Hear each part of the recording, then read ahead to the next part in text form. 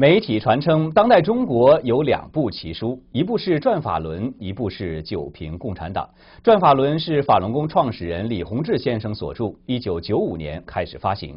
这部书的问世，使得修炼法轮功的人数迅猛增加。截至中共开始迫害法轮功的一九九九年七月，已有上亿的中国民众在修炼法轮功。而《九评》至今又引发一亿多中国人退出中共党团队。评论指出，这两部奇书成为推动中国历史发展的有力推手。据报道，这两本奇书也在中国共产党官员之中流传。时事评论员兰树认为，并不奇怪。他说：“当他们了解到法轮功的核心价值真善忍为什么能够如此广泛和迅速地为中国社会所接受时，人善良的本性会驱使这些官员去了解真相。”因为中国的传统文化就是一个建立在真善忍的价值基础之上的文化。佛家强调善，道家强调真，儒家强调仁爱啊。这个仁爱是什么呢？就是克己复礼，克己就是忍，就是以仁爱为目的的忍。这个在中共夺取政权啊六十几年，把中国传统文化彻底破坏了之后。那么，所有的这些官员，他们也是人，他们在面对问题的时候，不论是社会问题还是家庭问题的时候，他自己在做决定的时候，他也需要一个价值体系。中共现任总书记胡锦涛的同学张梦叶曾经担任广东省电力工程学校的高级讲师，在清华校友聚会时，张梦叶不止一次向胡锦涛推荐法轮功，并给胡锦涛的夫人刘永清邮寄法轮功书籍。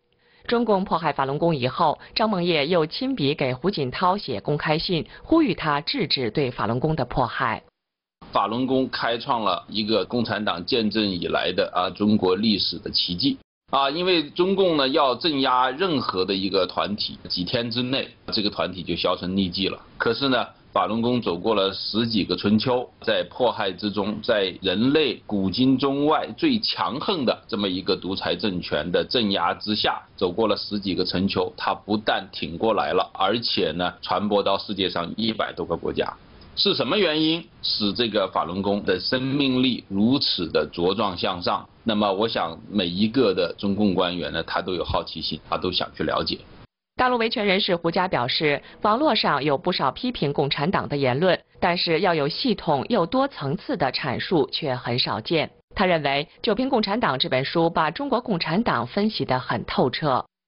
《九评共产党》这个呢，的的确确是一件就是说喊出皇帝新装的这么一个著作吧，而且通过网络流传很广，许多人看到以后的话也是拍案惊奇的，包括我，我我觉得像这样的书的。最主要的还不在于说谁推出一本系统性的书，而是这本书启发大家认清了这个事情以后，然后自己根据自己的实际的这种经历去再再阐释这个共产党的本质。这个我觉得它能够成为燎原的这个火。